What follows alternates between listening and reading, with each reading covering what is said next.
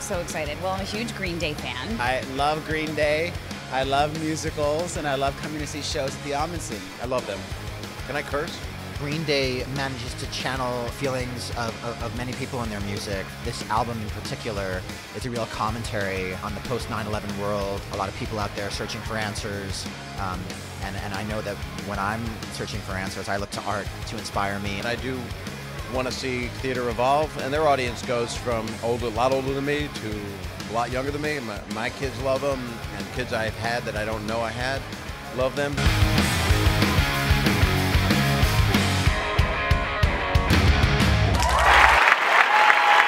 It wasn't until um, I saw the show in New York that I was like blown away and now have become a Green Day fan since. It didn't stop and they carried out the attitude from beginning to end. Energy, everyone's stage Everybody was just amazing. giving it. Ugh, I just want yeah. to get up there with them.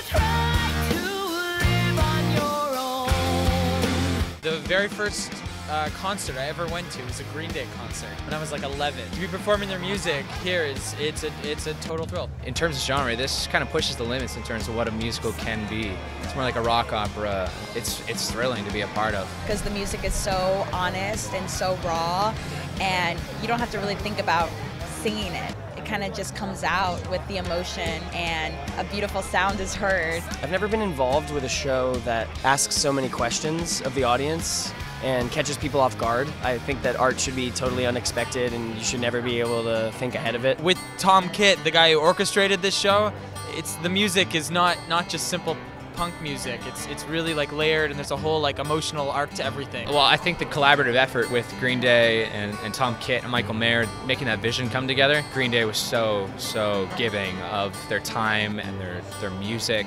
I think when material is is, is emotional, when it resonates, um, and it's theatrical.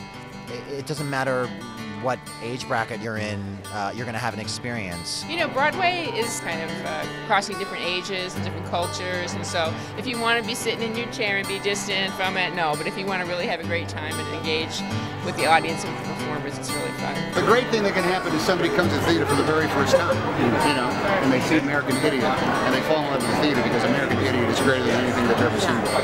That's happened to all of us in our lives at one point or another, and it's always been at some of the most inopportune times. I think it's going to be work, you think it's going to be a chore, and it's, it's absolutely magical. So God bless Green Day and their efforts.